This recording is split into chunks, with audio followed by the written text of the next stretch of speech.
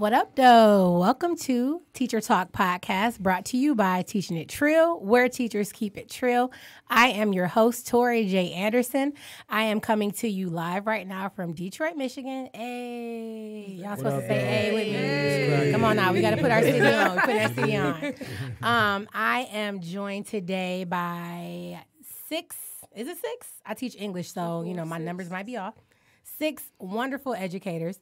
Um, I kind of just want to go around and let everybody introduce themselves. You can say your name, or maybe you can just give yourself a code name. Um, maybe tell me what grade it is that you have the most experience teaching and what subject you teach. All right, that sounds good. Yep. We'll do a round robin. That's a whole educational strategy for those of you that didn't Your know. teacher showing. You might go. My teacher's showing. All right, let's showing. put the teacher away. We're on break.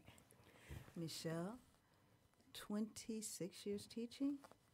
Um, high school, 9th through 10th, 12th grade. Career Tech and Education classes, better known as CTE. Business, accounting, marketing, and career readiness. Everything. I teach everything. That's what you should say. I teach everything. Um, Braxton, um, I'm, I was a teacher for 10 years. Uh, I teach computers, uh, but I now am in the private sector, but I also teach uh, uh, credit repair and credit reform. And so, and I, I sing internationally. So you sing. Yes, I So you can back- you can drop a, a little little verse for us at the end. Yes. Yeah, I just came back from Germany, so too. So Fancy. This is my turn. Uh, my name is Portia. I am elementary education. Um, this is my sixth or seventh year. Um, primarily, why are you shaking your head, Tori? That's how you know when it's just going all downhill when you can't even count the years anymore. because of when I, st- I started mid-year, so if you're looking at calendar years versus school years, Yeah. it changes. I started in February too. so primarily, uh, all subjects, but major was uh, science, minor in ELA. What up, though? This is uh, Jameson Smith. I am a math teacher. Uh, I've been teaching in, uh, this is my 17th year of teaching. And, uh, you know, I do, I've been out public, charter, suburban, urban. I've been around. See? I am Sherry, uh, seven years in the field. I have worked with both elementary and middle school. Now I've stepped out of the classroom, instructional coach. So um, ELA has been my thing. And I'm Amber. I teach science. I've been teaching for seven years and primarily middle school. I like how everybody has their professional voices on, even though we're on. it's my phone voice. Gotta I turn like it it. on. Hi, this You is gotta turn it this on. is Tori Anderson. and I'm gonna just turn the shit off. All right, sorry, that was I'm on a shit count. Like that was that was one. Where's the bill? that was my one. All right, um, I kind of want to just jump right into it. So I have a few prompts. Um, I kind of want our conversation to be a little informal, and just to give you guys a little bit of background, kind of the inspiration behind the show. Um, I have a lot of teacher friends, and a lot of friends who are teachers, and maybe we'll talk about the difference between the two one day. Um, but whenever me and my friends get together and we have a few drinks, we always, always, always start talking about teacher-related topics. So, what better, you know, idea to have a podcast? We got a few beverages, we got some microphones. Let's just talk about some teacher-related shit. Teacher, that was, that was number two. You knew that was coming. yeah, I, I couldn't help it. It was just, it just flowed so easy. So, our first prompt is my biggest first year mistake was. What was your biggest first year mistake? Who would like to chime in? Your I'll biggest chime mistake as a first year teacher. Take I'll a chime moment, think about it. I'm going to give you some thinking time. I suck as a teacher. Just a little, just a bit of transparency as a teacher. I suck at giving my students wait time. So, Same. Just want you guys, everybody same. So it's not just me. All right, Same. that makes me feel good. I don't know if y'all like that's listening, if That y'all suffer from the same thing, but that's like my Achilles heel. First year mistake. I think I'll jump in for two seconds. I think my first year mistake was spending majority of my check on supplies for the classroom. Oh, yes. No. I, think I was excited when I was doing it, like, oh, Agreed. my lesson's gonna be bomb because I'm buying this, this, and this. And I looked at my check and I'm like, wait, I'm not making enough. I can't pay my bills and buy the supplies. So that had to be my first year mistake as I reflect. Husband voice is, the is in the background and saying, "I can attest to that." Like the W twos, that little what's what's the education credit or the the, the, the oh, credit yeah. that I we get? I know minuscule. I don't even. no, are like, only- keep your receipts. For what? Seven dollars. Why No. keep my receipts? Oh no, no, especially because you have two science teachers here. I taught elementary science, and for elementary science, it was I felt I had to reminisce. My elementary school teacher was like Miss Frizzle. Mm. Her name was Miss Kabil. So she had live animals in her classroom. So when you talk about supplies, I had I was like Noah's Ark. I had two turtles, two gerbils. Oh, I had a guinea pig. I had fish. I had turtles, BT and LT, which stood for large turtle, big turtle, and, and little turtle. Creative. And um, hey, we had. But here's the crazy thing about it: because I had animals in my room, it kept my one of my administrators out because she was afraid of the animals. That's not a bad idea. Nice. Like right. Like let me let, Let me, me take think about let me take wisdom. We got wisdom in the room. Uh, let me just backtrack a little bit. I forgot to shamelessly plug myself. Um, this is episode one of Teacher Talk Podcast. It is titled "Shit I Wish I Would Have Known About Teaching." That's three shits for me. Um, gonna give Four. myself a quote Four, of maybe actually. ten. Say it after, you know.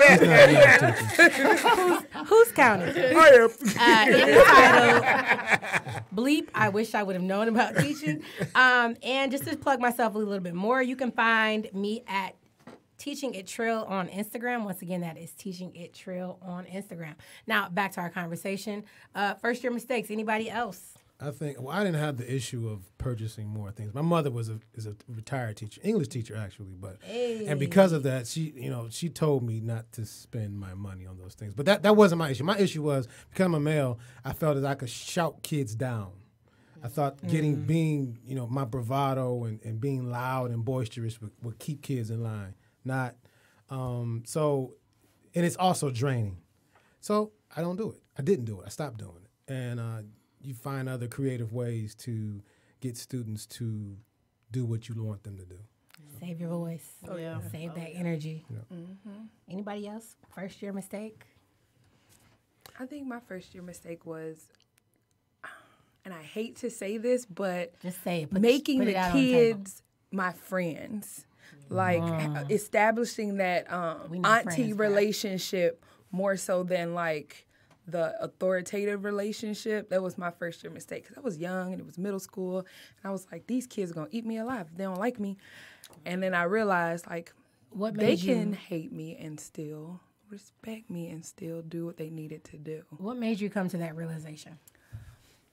Sorry, I didn't ask anybody else a follow up question. Yes, like- I know, right? like I'm You're getting playing my favorites. shot. I'm You're sorry. playing I'm not playing favorites. I think I what made everybody. right. I think what made me come to that realization was the the different predicaments that the students put you in. Like when they're in my class and they're not supposed to be in my class, and I tell them to go somewhere, and they're like, "Oh, I was with her. Oh, I was here, and I oh, was. you was oh, one of don't put my. Oh, you put my name in your mouth. Oh, so I feel like the administrators or people were looking at me like, "Oh, you always give them a pass," and I was like, "No, but I wasn't even with them." So I was getting blamed for things that I wasn't doing because the kids thought I was the homie, and then I was like, "Oh. You was the no, cool teacher, the one I can go to for the pass. I will never be your homie." I definitely, come, I definitely never again. No I turned friends. into that, you know. Um, I think my biggest first year mistake was not realizing. Somebody told me a long time ago, like, "Yo, you're gonna have to learn how to play the game." And the the game, right? The politics in education. Mm-hmm. Not realizing that I'm thinking I don't have to play a game. I could just come in here and be myself, and I can just change the world and just be. nah, like I realized, like, yo, this is a game, and you got to learn the rules, and you got to learn how to play it. Even if your game is saying that you're not playing a game, mm-hmm. that's still a game. Mm-hmm. So that's probably one of my biggest first year mistakes is trying just being resistant against, you know, the politics behind education. And we could talk all day about that. Absolutely. Uh, let's see. Talk about a time where you felt completely unprepared to do this job or for this job. Like you felt like, yo, I don't know what it is I'm supposed to be doing. I'm not ready for this. Time out, abort mission, pause. You mean from a from a pedagogical standpoint, from curricular perspective, Any emotional standpoint. perspective? Any, any time where you just were not ready. Emotionally, I'm sure we've all been there on a weekly basis. Like maybe I'm not ready for this, but I mean, you know, the show must go on. Oh, I mean, Absolutely. This year for me, I got moved from fourth grade after five years down to second grade. Oh. oh. Jesus. Exactly. For, so know, I for, know, for those of I you that are listening, you can't see our faces, but everybody in here, their face just scrunched up like Just ooh. appalled. that was my face when my admin told me Fourth the end of the year. Second? So on top of that, I go from having about 25, 26 to 34, 35. Exactly. Cheers to that. Cheers to that. Cheers to Raise, the, that. ra- raise the red cups up. And so having that transition right there, grade level wise, plus number wise, I literally found myself in the classroom like stuck one day. And 34 kids around me, and I literally just stopped and stood there for like five minutes because I was overwhelmed. Mm. And it was it was a lot. 35 second graders. though. 35 second graders. Had you ever taught second grade before then, or Back just in any two- lower grade? Back in 2013 when I did my student teaching. That's it. That's it. and they just threw you in there with 35 of them. because of my test scores. So that's why they moved me from fourth Oh, grade test down to second with this third grade reading law that's coming Double-edged into play. Test scores. This year, second graders are going to be the first year at bat with it next year. So, for those of you that are not aware, in Michigan, we just adopted a third grade reading law. Um, do any of my elementary educators want to chime in so I can make sure you know I put the right information about Oh, you- out you- about you the third me? grade reading law? Yeah, go ahead. You mean me? I'm, I'm sure Sherry knows a little bit about it. or I know a little bit about it, but I want to make sure I say it and I say it right because this is kind of important to me too. I mean, essentially, in a, in a nutshell, the third grade reading law, you know, if the student goes to take that, uh, what was it, the M-STEP test, used to be called MEAP test, and they're not proficient to a certain degree, they can be retained in third grade for it. Mm. Y'all hear that, parents? That means your little third grader, if they're not reading at grade level, might be retained. Mm. Go to Barnes and Nobles. Reading AZ. Uh, anybody else? A time where you felt like you were not prepared. You you you didn't know. Hey. Mm. Anybody else? I, I think that because it, it wasn't, f- f- I think the job is such an emotionally taxing job. You have to be um, strong from a perspective of emotional strength. Um, you're dealing with several different personalities every day, uh, every hour of the day, possibly 150 different personalities. Um, school, if you yeah. come to if you come to work and your own armor is cracked, um, you know you can find yourself incapable of being the best you. I'll say that, um, and that's not that that happened to me in my in the early stages of me teaching because this you know teaching was my second career, so life was already going on in full swing when I became when I became a teacher. So um, I think that it's important to, to to keep your personal life in check because you can bring it can manifest it, it, it can it, it can manifest itself within your job where in which you are incapable of doing your best i'm being very vague for a reason because I don't want, I'm not trying to tell my business, but Yeah. at the same time, We've but you, all you, been there, though. you've got to be, you know, it, it's it's difficult at times because it, it's an emotional job. You're dealing with with, with people. This is a the job of people. And We're creating they people. knowing. So uh, do. there, there, They there have been times When you're Yeah. off your square, there's been times Students. When life Man. has, has has put me in a place where being my best was difficult. And along with that, it is so important that as teachers, you spend a great deal of time taking care of you. Mm-hmm. Because when you are in an environment where the, the dynamics of teaching include, I have a different set of 30, 28, 25 mm-hmm. kids. If you're in mm-hmm. high school, middle school, teaching elective classes every 50 minutes. Mm-hmm. When I was teaching science, my father came to my classroom and said that by the time you get them settled and um, get everything going, you only have them for a good 20 minutes.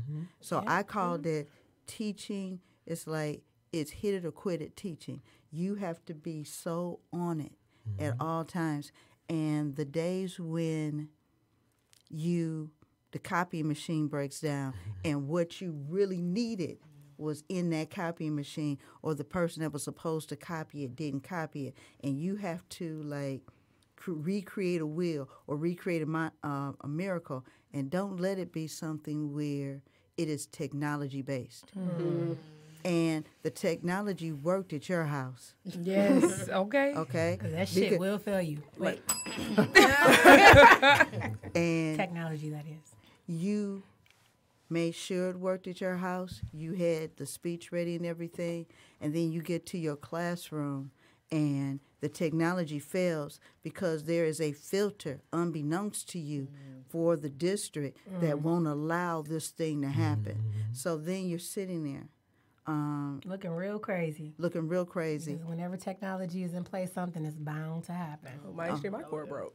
Like the the speaker's not gonna work. The Bluetooth is not gonna connect. The internet is The Wi-Fi goes slow. out.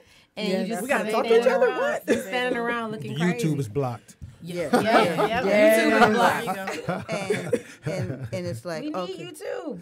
and mean no you know Netflix? you got people coming Right. around and the expectation is as a teacher you're on point every single day for mm-hmm. every hour and you'll have an administrator Even come you have a through bad day, you gotta be on point. exactly and you're on i mean just the idea of being on point every day It's overwhelming. with different, you know, you got different things that are happening. You have somebody here may have had issues over the weekend that filter in through social media. So you got to unhinge a fight maybe and things like that. All of that plays into whether you can be on point. How do you get back to being on point after all of that happened? I think that's so important to even just consider. Like on our jobs, we have to be on at all times mm. because for some of our students, my class might be the only structure you have in your life. And so, yo, you're dependent on when you walk in Miss Anderson's classroom, go get your journals or quick writers on the board. If you come in and Miss Anderson might be sitting down and, you know, her head is on the desk and her eyes are a little, you know, mm. y- you know, because Miss Anderson is not on her A game. Like, you need Miss Anderson to be Miss Anderson. And that's mm-hmm. kind of overwhelming sometimes. Like, we have to be flawless mm-hmm. or they know because they be knowing. They do. As soon as you mm-hmm. come in, you okay today? Like, Yes. Everybody quit talking. Miss Lee don't feel good. She said leave her alone. Right. Did you meditate Right. this morning, Mrs. Smith? I remember um, my I was going through a breakup, and I don't know how my I taught 11th grade for a long time. I was going through a breakup, and my 11th grade girls, these chicks somehow knew. Like right, they're like Miss Anderson because they called the the dude at the time. They either called him Greg or something that wasn't his real name. They just called him by like, some other kind of name, like just name, pretending. code name. It's like, well, you and you and Greg broke up, and I just kind of looked at it. and was like, oh no, and like they they wrote me letters, and I oh, was just like, I was like, oh, y'all not so horrible after y'all do care. y'all really do care. Like they care, but they just care in a different way. But they know, like, and that's crazy to me, like how they can be so in tune with us. It- like you guys said, like we got to be on. Um, let's see. I kind of want to jump around. What time is it? Seven o'clock. Can we take a break? I'm gonna go on a commercial break. I don't have commercials though, so leave that in there. No, we not on break yet. Just leave it all in. I want the outtakes and everything. Yes.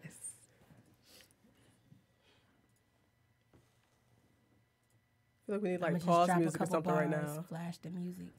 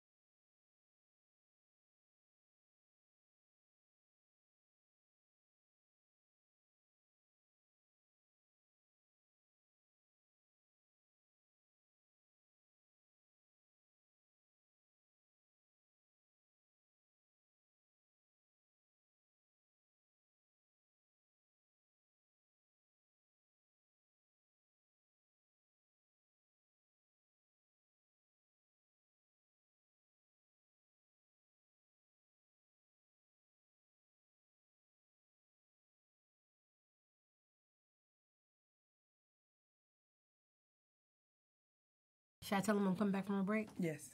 And we're back. They said it for me. And we're back. And you got to do the head tilt like, we're back.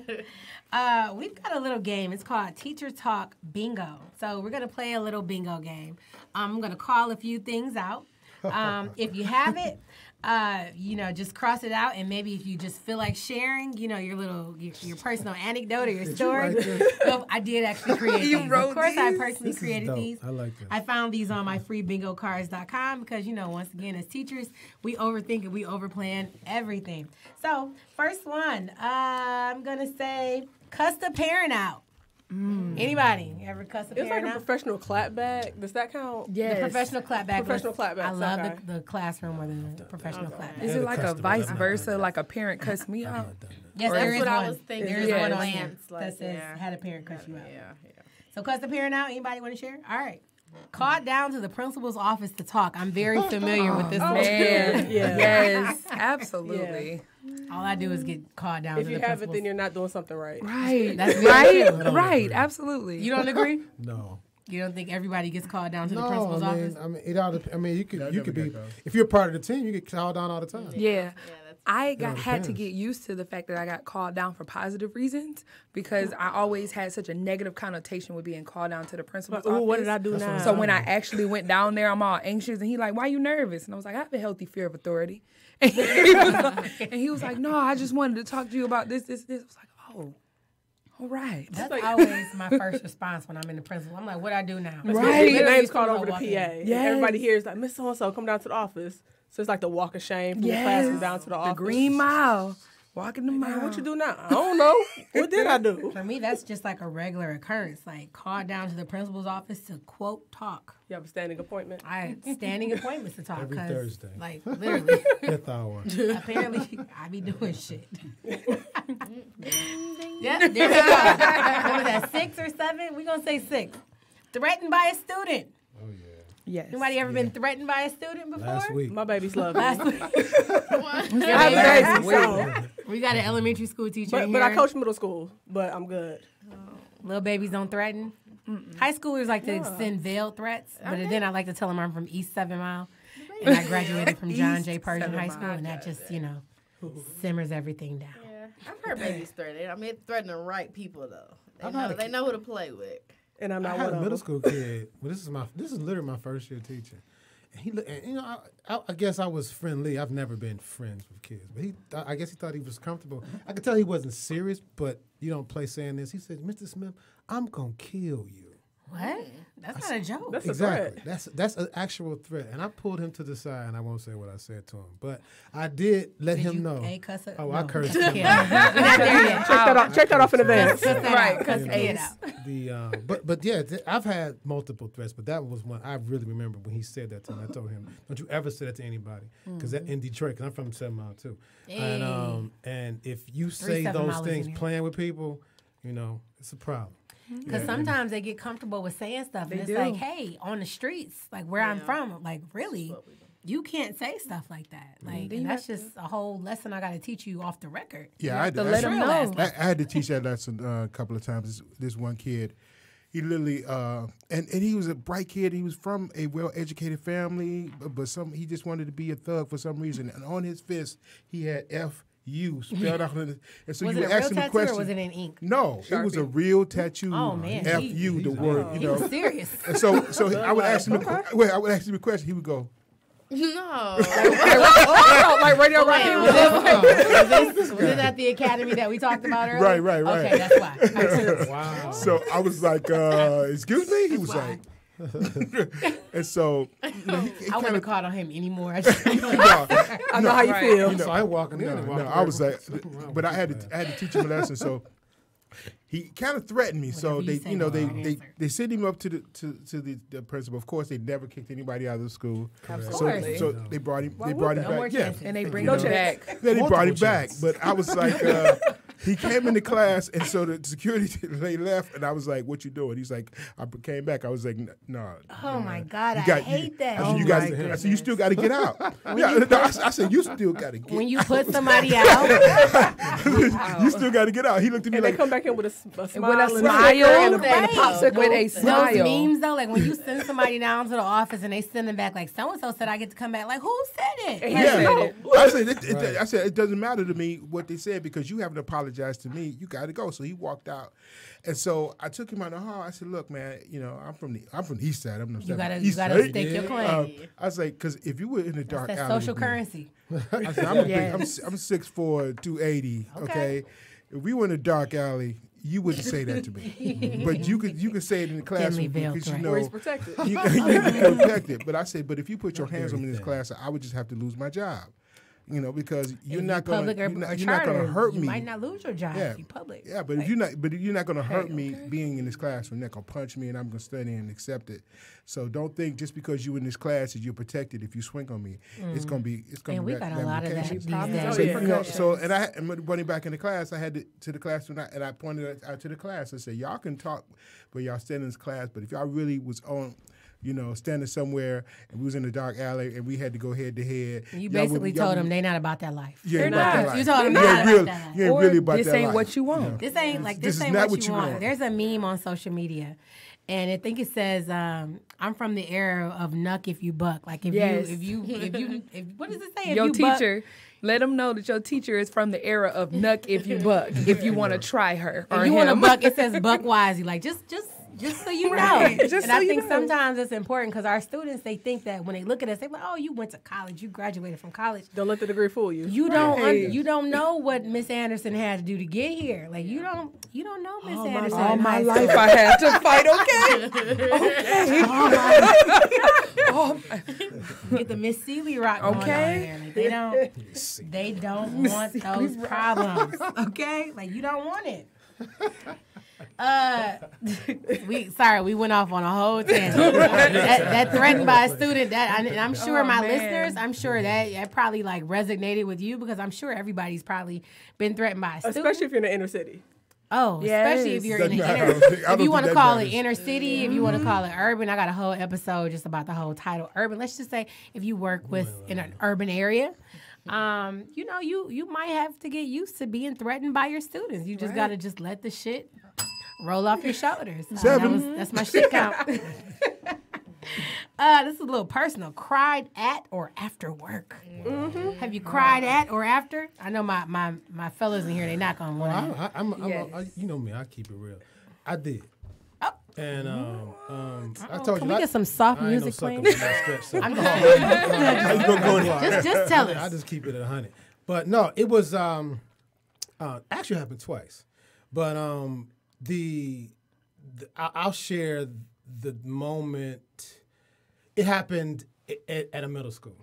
Of course. And, Of course, in middle um, school. It Those wasn't because, middle school. It wasn't because of something a kid did or It's just middle school. because I don't I don't let that bother me emotionally, my job per se. But that's what I was, I was referring to earlier about life happening to you, and then you have to go to work, um, and you don't know how difficult it is to maintain your professional decorum um, while at work, and you have all these other things going on in your life. So there was, you know, there was there was a, a time in my life where it was it was devastating to me, a, a- an occurrence in my life that was devastating to me, and I found out some some really horrible information the night before, and I went to work like I'm a man, I got to do what I got to do. I get off work, blah, blah, blah. and I actually broke down. I didn't break down in class, um, but I broke down, and um, the administrator took me into the um, to the library. We actually we prayed together. It was it was it was a moment, a defining moment, as far as how I felt about people. Because she wasn't my friend. She wasn't. She was a coworker. Well, she Uh, just showed you some real she showed genuine, me human genuine being kindness. human being kindness. And, That's uh, refreshing. but that that that happened to me. I left work, and um, you know that's my story that I'm gonna tell. I, I've cried I've more cried, times, yes. not in front of my students. Like you got to Oh, never. You know, of course, You teachers gotta be a G. Depends on the situation. It does. So depends there on is there's this activity that I do. It's called um, it's called a, um, you know you guys know it's called a Socratic seminar. Mm-hmm. Sometimes the shit gets real, real. Sometimes the mm-hmm. questions get really real, and it was actually just this school year. We were reading, we were getting ready for Romeo and Juliet, and you know, Tybalt, you know, Romeo had to kill uh, Tybalt because Tybalt killed Mercutio or whatever. I got to flex my English muscles or whatever. um, but I got to keep it true. And I asked my students, how many of you have lost a friend? Um, how many of you have had a friend who died? And I teach ninth grade, and all of them raised their hands. Every single last one of them raised their hands. And for me, that that hit me close to home because here I am. I'm 33. I have yet, and I'm very fortunate. I have yet to lose a friend to violence, or mm. to gun violence, or just to any like all of my friends that have passed away have passed from like an illness or just something, you know, just some random thing. But I'm like, we have this whole generation of kids or of young people, I'm, I want to call them kids, of young people that are growing up, and for them, losing a friend is normal. Posting the RIP status is normal. Having the RIP T-shirt is normal. And for us, like when we was in high school, that would have been devastating. And I got very sad for them, and I legit like I teared up in class. And like, Miss mm. Anderson, like why you? Because they were getting emotional, like to the point I had to, you know, pull the plug on a Socratic seminar. Some girls went to the bathroom. Mm. I had to explain to my principal, hey, I got, you know, it's, it's Socratic. It's getting a little emotional. My new principal understood, but even in my old school, my old principal would understand. You know, shit gets real when we have a discussion. You guys are so lucky. I'm saying that the it's the the S word today and not the F word. The F word, my the podcast will be marked like super explicit. Yes. All right. I'm sorry. I just had to share that. But um, I cried, and it's like, and I was talking to somebody, and I was like, I don't think I'm. At first, I wasn't ever comfortable with letting my students see me be emotional because I felt like I had to be like strong for them. I had to be the strength for them. I had to be this constant like presence for them. Like Miss Anderson, like you know, she got it or whatever. But like yo, like I had to be vulnerable with them in that moment, and it was good. It was like very, very. It was it was organic. So I think people mis- misplace um, compassion, emotion as weakness. It's actually display of strength. And children, I think so, too. even though I think sometimes we, we, we, we don't we don't give kids credit for being people. They're human Yes. beings, At all. and and they can see that being vulnerable is strength. It, it, it took it took you to be strong to allow your emotions to ring through, and I think kids pick up people pick up on that, particularly children. particularly children, because they pick up on they're some of the most unique and meanest people I've ever met in my life. All in one. you said unique and mean. Not Unique because mean. um, this They this, are cruel. this- Children are cruel. people are They cruel. honest though. They taught me that in my Right. child I- I- psychology we just class. They said adolescent you know. children are not likable creatures, but they seek, but they seek love and acceptance, but they fingers. repel everything that But is some of them go about it in the regular most to them. messed you know? up way. Yo, I need I need you mm-hmm. to love me, so I'm gonna cuss you out. Right. I'm gonna show up to your class late, and I'm gonna just do everything to get your attention in the wrong way because I what- want you to what was the love chicken? I want you to love. It's like when me. your kids come with chicken. Yo, a kid, a, a the whole plate of chicken, the A kid plate of came to my class. I'm doing it. So here's my thing. I'm I don't even I'm a master teacher. I do I teach and I coach. Mm-hmm. So I'm in a teacher's classroom, and I smell chicken. It's it's eight o'clock in the morning. Bible. It's eight-ish. Bible. Okay. And for y'all that, that's listening that don't know the Bible, that means like facts. This is like legit, even though we know that. Well, I'm not gonna say that. I digress. Almost went off on a tangent, but I smelled chicken at eight o'clock in the morning, and I'm looking around like because food in my class is taboo. My kids don't.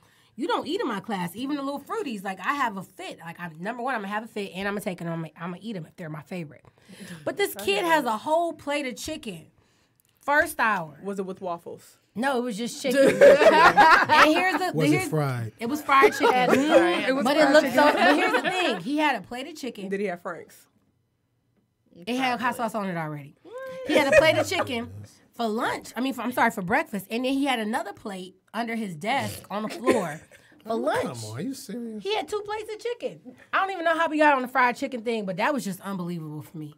Like a whole plate of chicken. What did you do? Whole Do they have Did you stop lockers? the teacher and ask her. I didn't. why? I didn't You stop the teacher. the I didn't say then. anything. I just took a picture of the kid with a plate of fried chicken and posted it on social media because it was unbelievable. My thing is like, I'm not. Mind you, The moral of the story is I'm got visiting. about thousand likes. I'm visiting. right. Make him go viral. right. I'm visiting a teacher, right? You you supposed to be teaching, and I'm not even gonna talk about the what was not happening, right? The fact is, this kid is the kid is eating. Oh, the- we're all teachers. We know what's not happening because the kid was eating a whole plate of fried chicken and passing it around in front of him Passing and it going around around. giving people pieces. No. So we know nothing day is before going Christmas. on. No, it wasn't before Christmas. I don't even know when I posted it, but it was not. It was not before. It was not before a holiday. It wasn't a full moon or anything. It was a random. It was a day. regular October day. the A whole 12th. plate of chicken, full wings.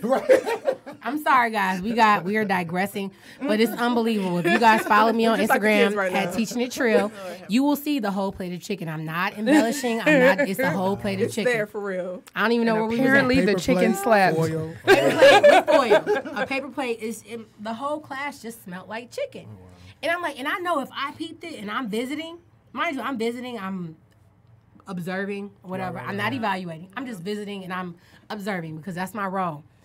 You got a kid eating chicken. Like what?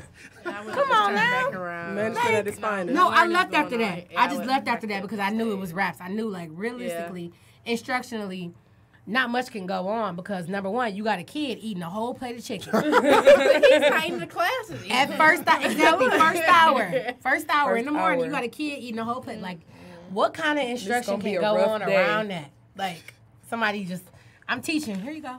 And all you hear is, Right. I- you, you know, you bring up, a, but but like to, chicken. to make this somewhat relevant to So our discussion started. Yeah, we went yeah. off on a all right, tangent. let's bring it back Bring home. it- bring us in, bring so, in. so if, if let, let's say it's not a whole plate of chicken, let's say it's lunch or breakfast that they give you to Yeah. give the students, Oh, and man. the kid comes in late, Mm-hmm. and but we all know that some of the kids, the parents bring them in late, and the kid doesn't have any breakfast, and so they have to eat, and so you may, and I, I've had this experience where you've got five kids sitting in the in the classroom at eight fifteen, eating cereal and you know protein bars and, Yeah. and milk. Or you give it to Is them that because ex- the school cuts it off and you got to, because they you keep- hungry. keep so, that stash. so what do you? I mean, Because I keep a stash. even though you know, this kid at least had food from home, so to speak. So mm-hmm. I'm, I'm, you know, Can't be mad. You can't be mad at him, even though Whole it wasn't the, the best thing to do. We, we do it all the time. It, we should be a community thing, But though. it- I you think know, the like thing passing was- the chicken that- around is a little disrespectful. Yeah, passing the chicken around. But the other thing was the fact that, well, if you've had chicken with hot sauce on it, you know for a fact that, you know, it's going to kick. It's going to smell. Yeah, that's Yeah. true. But for the teacher to not acknowledge it, to say, okay, look, let's work something out here. Mm-hmm. I need you to put that up. Mm-hmm. Why don't you put that on my desk so we can, you know, go on with the lesson? Or just don't pass it around. Set Or some, some type of parameters. Because my man's is walking around giving people pieces. Oh no, you didn't share that part. My man's is walking around. Oh, he's doing a strolling on one- He's going around, yeah. He's doing doing the the strolling brunch. I'm sorry. I'm sorry. I was a little. My man's is walking around giving other students pieces of chicken. It was at that moment where I'm like, okay, because I understand. Like sometimes, and people don't even like understand. And sometimes kids come to school hungry. I don't. I'm 33. I don't even eat breakfast, so I get it. You might not have time in the morning. You might be hungry. If a kid is hungry, if they if they're off their game, they can't learn. I'm gonna let you eat. But, But- whole wings, and you passing them around the class. Whole wings with Franks on them. If you're gonna bring chicken, eat it quietly. I'm just trying to paint the picture. Eat it quietly. eat it quietly. All right. if you're gonna bring chicken, in, if, if you're gonna like, just the moral of the story is, if you're gonna bring chicken in my class and Give eat it piece. during first hour, Bring me a First of all, bring me a no, not even a leg. I need a whole plate for myself, oh, and sit at your desk and eat it. Next door. Oh Lord. Next one, walk out of the class to save your job. How many of you have did. ever had to Oh, walk out yes. to save? Yes. Because you like, look, Lord, if I don't leave out this classroom now, Yeah. I'm losing my job. Mine was piggybacking off of um, what you guys mentioned earlier when they send that kid back. So now I don't send kids out. so if I send send a child out, it's serious. Keep it is them out. rare. Send a child out, and they sent the child right back. And the student was so disrespectful. I grabbed my purse and my coat. I called security. and said, "Can you please come cover my class?" On my way out, I stopped at the office and I let the principal know. You already know the situation. I asked for a five minute break. You sent them back, so I'm leaving. And he said, no, no, no, no. So wait, no, you no. wait, wait a minute. No, You, I was- You I was had wanting your to be- stuff packed. You were. Yes, you were I ready. ready had to my go. purse, my coat. I had somebody come in the class. Sometimes you got to put the pressure. So you prepared And- it well. So Yeah, and then he realized that I wasn't playing because I'm the class that they send the kids to. I'm Right. the ones like to bring them, yep, send them, send them to me. I get them together, send them back. partner teacher. You're and the I just teacher. needed a break, a five minute break. Critical friend. And I was literally ready to like just be done with it. And he was like, you know, I'm sorry. I'm gonna take them for the day, and you go back and get yourself. Yep. Yeah. Yeah, and you get yep, you get back to class and do what you got to do. I mean, I felt bad, but it was like you can't do this. Like I do too much for you guys here for you not to give me this five minutes I'm asking for. And sometimes you gotta, you have to pull rank. Sometimes you gotta say, "Yo, like I need, I need this minutes. time." Like, cause once again, ladies and gentlemen, we're human beings. I don't know if there are any non-teachers listening, but if there are any parents out there, any administrators, you know, just a heads up, teachers are human. Well, no, I actually got so ticked off that I went to the dean's office. And when I went to the dean's office, Y'all got a dean though. yeah, well, Sorry, it's just a whole. yeah, but but no, no, I didn't send need. I didn't send the kid to the dean's office. I sent me to the dean's office. Oh, because Sometimes sometimes, it's it like be that. like that. then it was and and, and, and I. I gave myself a timeout. and it was like I just couldn't do it this day and it was like, okay. And once I vented and took several deep breaths, I went back. But if I hadn't have did that, Yeah, hmm. that would have been my job. Yeah. Not even my job. It wouldn't have been my job because, first of all, there's a teacher shortage. Let that be known. Now, just let that be known. I mean, I'm not saying I can go around uppercutting like Mortal Kombat in kids because I'm not that Get kind of over teacher. here. Get over here. I'm not going to do that, but I'm just saying. Um, but sometimes you need a break because you want to maintain that professionalism. Like I don't ever want to be that teacher that's like cutting into other people's kids. I don't ever want to be that teacher that's like demeaning and belittling belittling a child. So before I know if I'm getting to that point, I'm gonna walk out the room. Like I like to walk out. I like to pray in the middle of class, and my students think it's comical. Like they think it's funny when Miss Anderson stops and just like, Oh no, I put a playlist on Spotify with that. We we needed to come to Jesus moment sometimes. We do. yeah, They like do. I- they know what mood I'm in based off of the trill music or the subtle music or the smooth jazz. Or if we know that we've had that type of week, you will hear gospel. I will ask my kids, separation of church and state. If it's disrespectful for anybody, you know, these songs don't have this and that. But we, oh, the Y'all playlist heard. is there because y'all need something that I can't give you right now. All right, bingo, because we're still playing bingo. Side eyed a coworker in staff meeting. Ah, absolutely.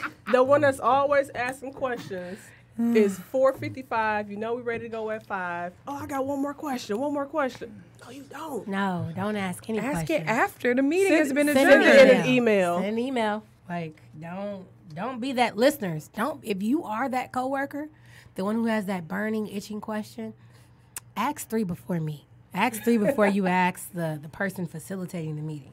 Cuss the student out. I have the I babies. mean, I, I, I, I feel can't. like This is being Define taped, cussing. and I will not. right. I mean, I incriminate feel like a stern talking to is different. Yeah, we cussing a don't curse. out. Teachers, first of all, teachers, we are saint like and we don't do those kind of we don't curse. especially When in the door those closes, avenues. it's closed. okay, if We we're don't gonna keep this 100, Okay. if we're gonna keep this 100, Of course you guys know we're just bullshitting. I was going to give you a pass because you know you had a compound word right there. I was going to give you a pass. Can you ring that again? They just count that as two. okay. No, no, because um, I had an interesting dilemma. Interesting. I like that word. Yes.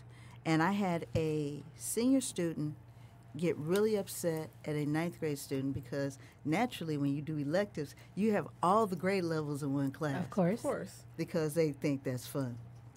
And Whoever's making the schedule thinks it's a great idea to mix. yes, Good old counselors. yes. no, no, we can't take counselors? everything out on the counselors. the counselors, they, they don't know the mix when they create the mix. Yeah. It's after Counselors, the, they counselors need love too. Shout out to all the counselors out there that's listening. We know y'all got counselor issues too. and Let's have a counselor talk one day. Episode six. Get at me.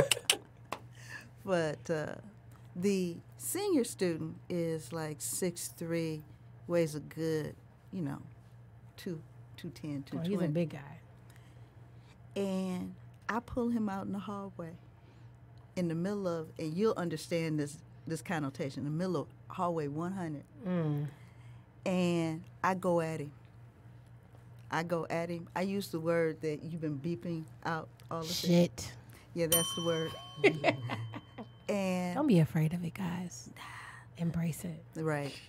And I realize I'm in the 100 hallway, which is the main hallway of the school, and I am fussing at this child, and I am looking up, mm-hmm. pointing up at him, and I am treating him like I would treat my son. The only thing I haven't done is push him into a locker yet. Mm.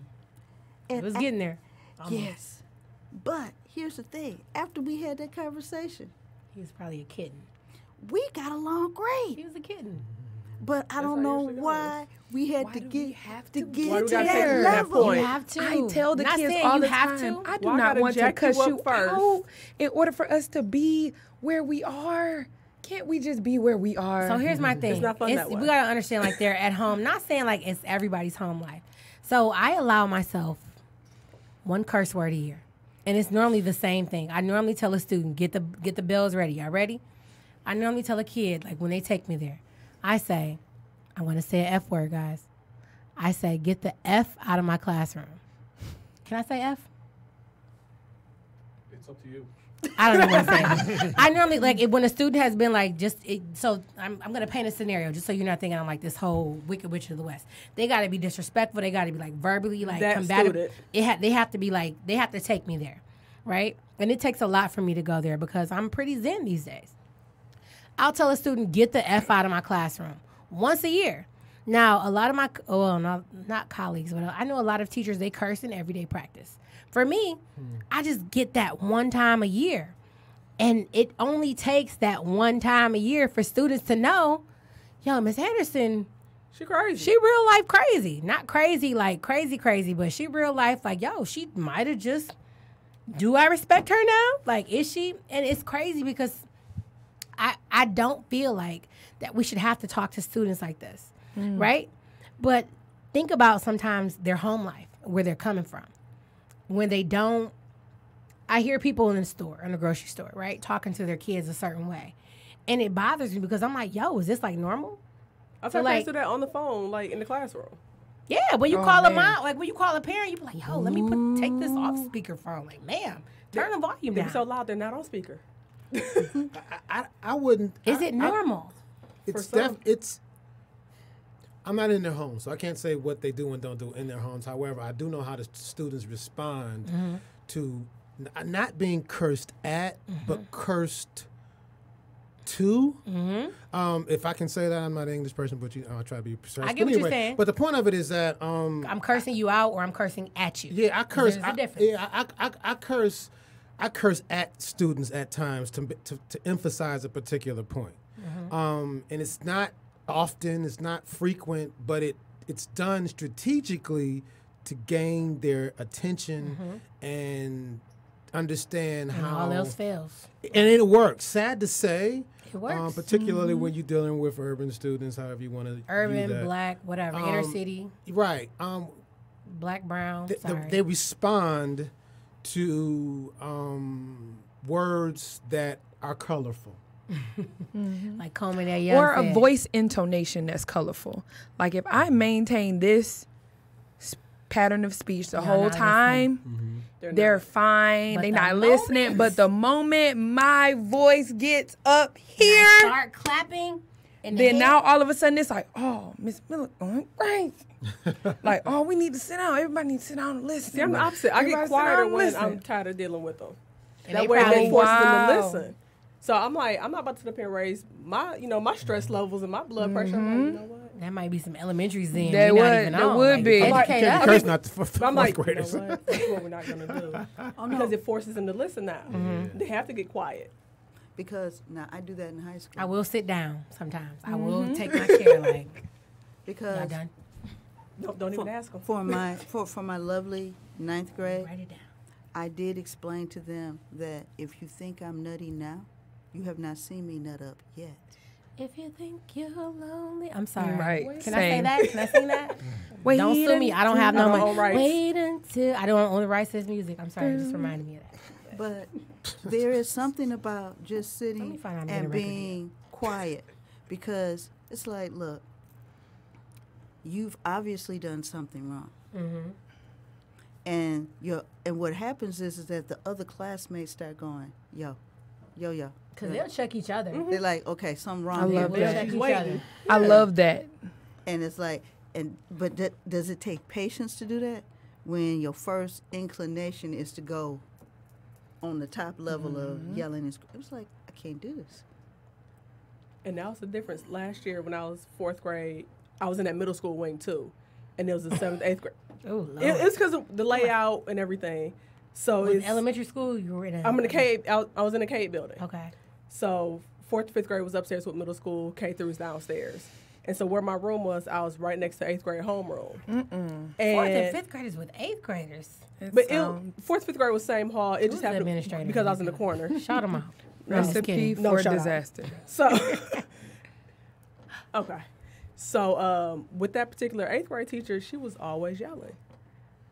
And it even drove my fourth graders nuts, but they were able to still manage through during silent reading, her yelling and everything, even with the doors open. And she would come in like, wow, this is what quiet sounds like. I'm like, and she never had to hear me yell. But I, I could literally hear her yell. I need to My door closed, her door yell, or her door closed, and I could still hear them. Mm. But she never heard me yell. I don't think I yell now these days. I think I'm more of a sit down. But sometimes, especially now that I have ninth graders, when I had 11th graders, I could just sit down in the middle of the room. Sometimes I would just fall out on the floor because I'm extra dramatic like that. like I would just see pass out. Yeah, you could. You, I you guys, those of you that know theater me can see me. Like I was a communications and theater arts minor. Sometimes I would just pass out in the middle of the floor. Um, but now I might just be like more of a sit downer. We've got 15 minutes left, and I've got this whole bingo thing, but I've also got some cards, and I'm a little torn. So I'm gonna let you guys choose. Um, what do you feel is the most difficult aspect of our jobs? I feel we've talked about it. Um, I kind of want to stay with bingo. Where do you guys want to go? It's fine with me. It's your world. So this is episode one. Shit, I wish I would have known about teaching. I kind of want to tie it in. What do you think are the most uh, five the five most important things to know about teaching or being a teacher? Or you can answer the question: If you could do it all over again, you can go back in time and you can re-choose your major freshman year or whenever. We're all laughing. If you could choose to become an educator, would you do it? If so, why? If not, why not? So, Five things I wish I would have known. okay, five things. That every two years we're going to change how we're going to be evaluated. Amen. Every year, year and a half, we're going to change how we do lesson plans. Some of them are going to be so detailed, it's going to look like a thesis. I think I've had like a mm-hmm. different template every year so far. So, So far, stuff is always changing. I almost said sugar honey Forever. iced tea. What am I? Am I at ten? No, You're like a 12, I think. but, Yeah. but who's counting? We've Who's already counting? been with. It's a whole new world. Three, three, that it would interrupt your personal life on the level that it interrupts your personal life. Yeah. Mm. From mm. about Yes. mid July, if you if you're high school, maybe middle, from about mid July into June, the second or third week, if you are in a high school doing like a mentorship program like DECA, like uh, robotics, any of those type of things, along with teaching, your personal life, you basically tell no your personal life.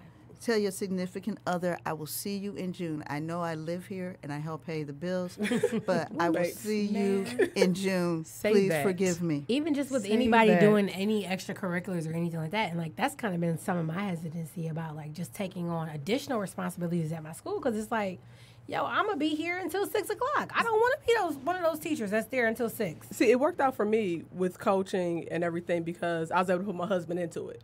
Because he has that sports background also. So we coached um, track together the past few years at the school. When I took on the AD position, he you know was on board with that. So was able to kind of do that together. So that did help. And then on top of that, his grandmother who raised him was a teacher for like 30 plus years. Oh, so she had game. So I still pull stuff from her. That's So- how I am with. I'm like, He's always like, my mom was a teacher. I don't know how in the hell I married a teacher. I'm like, but here we are. right. You'll be okay. Stop complaining. Number four. Or I think that was four. And number five was the fact that to be a teacher, it's the most insane thing to be paid, to be paid what you're paid, barely paid. and then have to go back to school every five years to keep receiving pay that is underwhelming for the amount of education that you have obtained. Yeah. Absolutely. We have, some of us have more education than some doctors, and we're not paid at the same level. That's just the whole country thing. But I read in an article 2019 is going to be the year of the teacher for the year of the teacher S word. I'm not going to say it on on air, but we know what the S word is. It's not sugar honey iced I read it today myself. Yeah. Yes. Say it again for the listeners that might have just tuned in. Strike. Dang. We out of here. Parents say those off days. Just letting you know, we Went to might be California about two weeks. we might be out of here. If California, if, L- if LA pulls it off, the It's bigger on. unions will be up on. Um, anybody else? Five things, five most important things, or if you could do it all over again, would you choose? to I become an got educator? one big one. It's not. I don't want to. Maybe can I do one big one? What what what were the, the five Out things? five. But it's only one. Okay. Okay. And um, would I do it over again? The answer is yes. I would. But um, Yeah, I We're crazy, Yeah. insane, Right. insane stuff. Insanity. Uh, the um, the one thing you know that I've learned, and this is sad to say, I've been to many different places, and I'm gonna get to the to the point, the, the crux of it, and it is that s- school districts' goal. You would think it would be. To, to, to, you would think it would be to get the best and the brightest out of every child, but it is not Yeah, school districts, particularly in this area, but I think around the country, its goal is to suck the least. The goal is not to be the worst. Mm. So as long as you've got other districts or schools that are beneath you, you're okay. Hmm. You're You can do whatever you want. You can hire your cousin, Social your buddy, hierarchy. your mm-hmm. friends. You can put anybody in positions you want to. The state will not. You will not be on the state's radar. If you are a low performing school, you are on the state's radar. You will be. You, you will have to cha- have changeover. They'll be bringing in programs. You'll have state oversight. But as long as you aren't the one of the bad schools, and that's what the goal is, just to be just above the five percent, barely passing. you can do whatever you want to do. That's Give me that hot D 61%. minus. Give me that hot D minus. That's sixty-one percent It's right like that's still passing. We to want the. D minus. I tell my kids all the D's time. get degrees. No, Do not celebrate no. mediocrity. That's crazy. Anybody else? I If got you could do it five. all I, over I again? came up with three. If I could do it all over again, I'd still Look at do this it. Nice teacher handwriting. I was trying to like empower the ones who are coming as Yes, educators please, and 'cause we listening. need y'all because I gotta Um, retire in 80 years. Right. In 80 years. Real Can't talk. retire before Um, then. I would before say- 150. One is be passionate. You have to have an affinity for this work. Yes. And I've met so many teachers who do not. And Mm. it's discouraging when you're that change agent, when you're that Yeah. facilitator of masterful instruction, And and, you have else is around kids you. that dread leaving your room and going into mediocrity. You know, so you have to be passionate about this work, and you have to be flexible. That's my second thing because they changed the evaluations. I remember when I did student teaching, my lesson plans were like 10 pages. and then when I first went to my first um, school, they were like, oh, your lesson plan is only two pages. I was like, two? I don't have to have this and this and this and this. So it was enlightening to say the least. And now I have to submit lesson plans where three years ago I didn't, and now I do this, you know. And science is constantly. Yes, changing. those? I'm embarking on a new curriculum that our district adopted. And I not only am the youngest person in the science department in our district, but I'm the lead in the middle school. So having to like do that and facilitate that and train everybody else, it was kind of like, oh well, whatever. And I'm sure you you're know. getting hit with the whole, well, I've got 30 years Yes, but you didn't apply for the lead position. Then I'm why you saying ain't do this? experience. When does I not when he mean wanted the lead, everybody was like, "Not it." But then when I, we want to be the lead, now everybody wants to just Oh, yeah, pile it's easier that everything. And number three? adapt to any challenge. Yes. So Lord. whether it be the students, whether it be the staff, whether it be the drama, adapt, Yeah. adapt, sink or swim. Pretty much, it's sink or swim. So We talking about teaching like it's like a whole. Like, yo, this, no, no, not about this life. Like, no, no, people- it's, It it is. is. It is a job that I would call baptism by fire man, Rite Yeah. of passage. because I mean you I've you're been going through the fire. you're going to ah, you're going to get you're going to get the child who loves you. You're going to get the child that I don't care what you do. Mm. You're not going to reach, and you have to accept that. yes. Yeah. It's another Because you're not going. You can't Yes. save everybody. That's my number four. You cannot save everybody. I'm still Yeah. learning. Yes, that yeah, Right. one that- cannot think I can. save this- everybody. yeah. And you like the try. moment I give up, though. Yes. The moment I Yeah. give up trying to save everybody is the moment where I feel like you need always hang have to try, out. but you have to know that mm-hmm. they still got to go home. I've had kids that told me, "I don't know what I'm gonna do without you during the summer. Oh yeah. You, I don't know what I'm gonna do without you during the break. Like I need You were the normalcy. I need this energy. I need this positivity, and I don't have it anywhere else. You can't expect me to be anything more than what I am because I gotta go home. And that's a whole nother podcast right there. Oh, look, we got a whole so. seven, I don't wanna go Thank you guys for joining us for our episode one for our launch of Teacher Talk, the Teacher Talk podcast, um, where teachers keep it trill. Brought to you by Teaching It Trill. Um, I'm so glad uh, those of you that joined me today were just kind of able just to come and just just be open and just be honest and just share your experiences. Um, I created, well, I kind of wanted to create this platform just to give teachers a voice because I feel like sometimes we are very, very undervalued. Not even sometimes, we're undervalued in this No, we are undervalued. Uh, nobody listens to our voice. Nobody wants to listen to us, un- listen to us until it's too late. Um, and so I really felt it was very important just to kind of bring us all together and for us to just do this on a consistent basis because it's kind of therapeutic too, just to be surrounded by educators. Um, you guys can find us at on Instagram at Teaching It Trill. Um, you guys can find us also at Podcast Detroit, uh, Teacher Talk Podcast. Uh, I once again, I am your host, Tori J. Anderson, the trillest English teacher in the land.